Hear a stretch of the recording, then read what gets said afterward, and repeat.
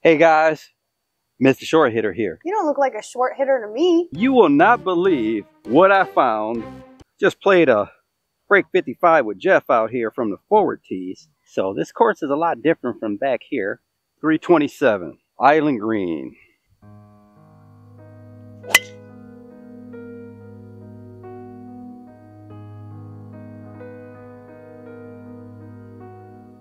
Okay, went right at the tree. We'll see where we're at. So are you guys wondering what I found? Well, let me show you this. This box, Nitro Elite Pulsar Tour. That's right, guys. Good old Nitro has come out with a tour ball with a urethane cover. They have a three-piece and a four-piece model. I'm going to give the three-piece a try. Okay, guys, we have an island green here, 90 yards. Lucky enough that I'm close enough to this tree here. But we need to hit a good shot because we do not want to lose this Nitro golf ball. I got a dozen, but maybe this is the first nitro ball that you actually don't want to lose. 90 yards, any wind is helping, but not much.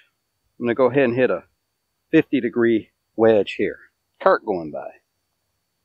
Go ahead, cart. Okay. 90 yards, ball's above my feet a little bit, so I'm going to choke up just a tad.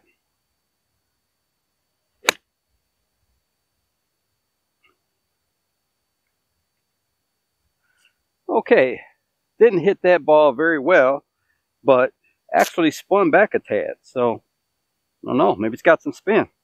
Okay, it didn't actually spin backwards. It kind of bounced up and looks like it just kind of checked really quickly. But still, still pretty good for a for a nitro. I got this ball at PGA Superstore for $25 a dozen. It has a alignment aid. I'll show you that. It's got two red lines on the side of the aid. So if you like a lot going on with your alignment aid, this would be that.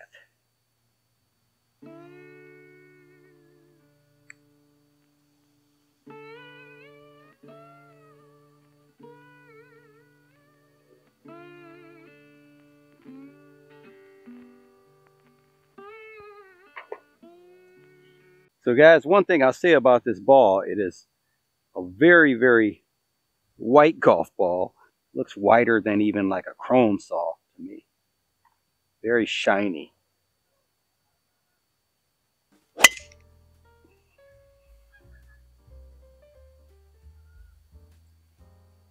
This ball feels pretty firm.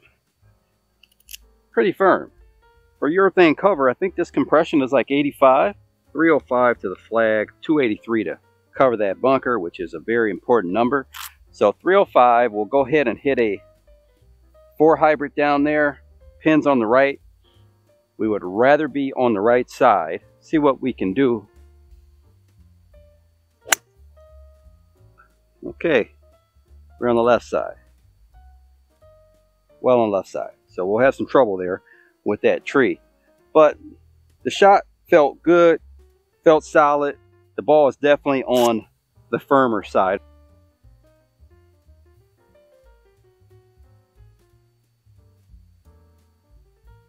All right, guys, so this pin was tucked all the way in the back. So there really was no, I mean, this ball, I had 117. It flew three yards past the flag, which for me, 120 yard carry with a pitching wedge. That is an awful lot. There's really no wind to speak of. I would never think to fly that ball past that flag.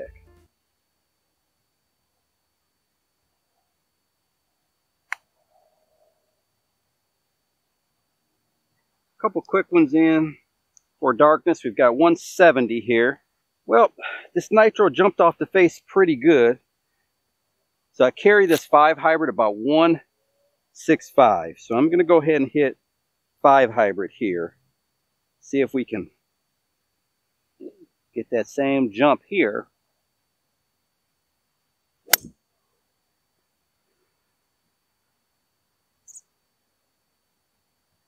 Okay, that was going a tad left of the flag. Not sure how far it flew. I don't, we'll see. So guys, the more I hit this ball, the more it's hard for me to actually believe this is a urethane covered golf ball. Like it doesn't look like a urethane covered golf ball. It looks like a ionomer covered golf ball like you would get. I don't know. It just definitely doesn't look like a urethane cover.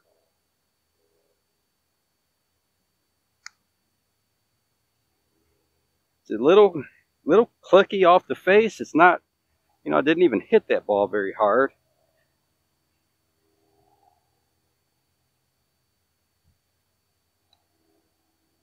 Three ninety or so from back here. You know, I thought that I hit that last hybrid where it would carry further than it did. I didn't hit it great. Just wondering if these numbers are going to be consistent when I go indoors with this golf ball.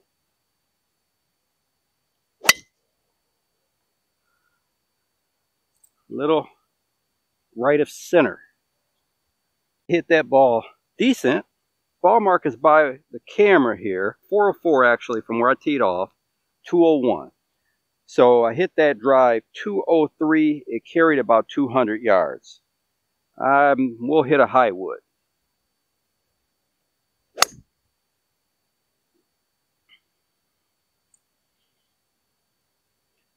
think it was cutting a little. So guys, I will say this, as I'm playing with this Nitro Tour Elite, don't feel like I'm playing a tour level golf ball for sure. I feel like I'm playing a cheaper golf ball with an ionomer cover, pretty firm feeling. I'm kind of doubting I'm going to get a lot of spin when I look at the numbers inside. And we'll see how consistent it is, but I'm not liking this so far.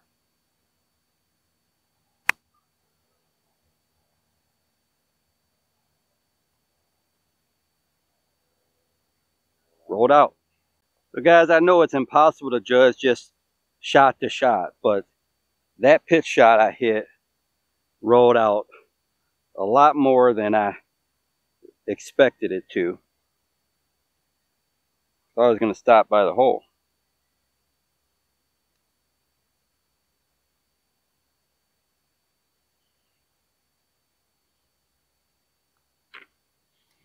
So guys, I definitely will tell you, I feel the firmness of this golf ball.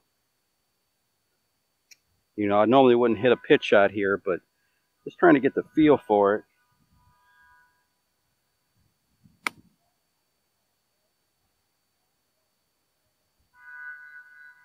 Kind of looks like it, for me at least, it hits and skips forward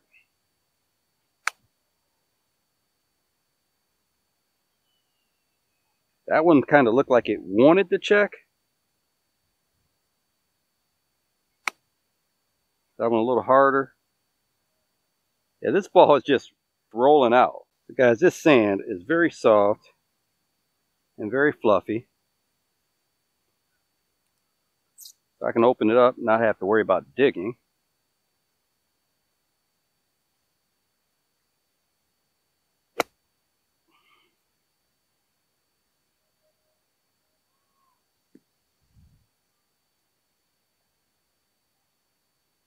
Yeah, I went pretty deep there. That one at least didn't skip forward on me.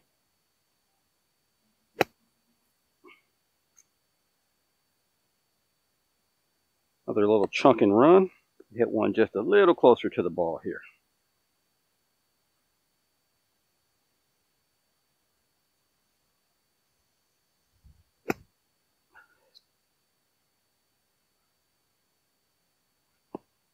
Not much to say there.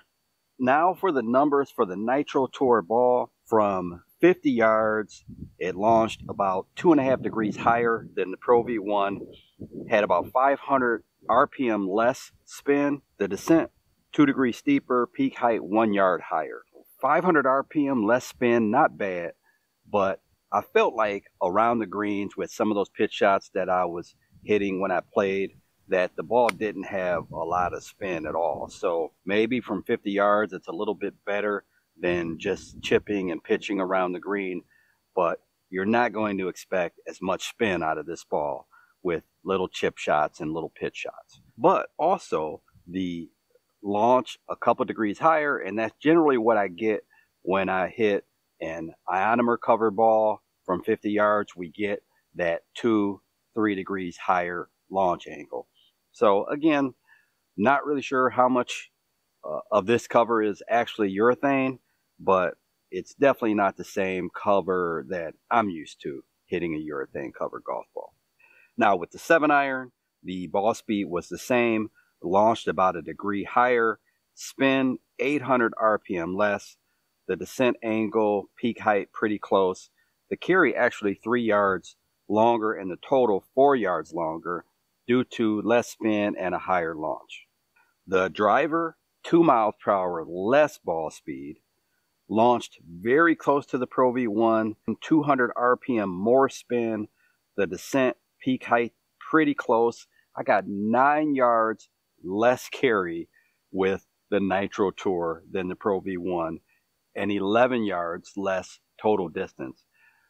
And what I found is the spin indoors was very inconsistent and I had some balls that were spinning 3400 RPM and I thought I hit good drives and the spin was just kind of all across the board but overall was was pretty high especially compared to a Pro V1. Leave down in the comment section any balls that you want to see me review or any videos that you want to see me do. If you enjoyed the video, like, comment, subscribe. Until next time, Mistah Short Hitter, out.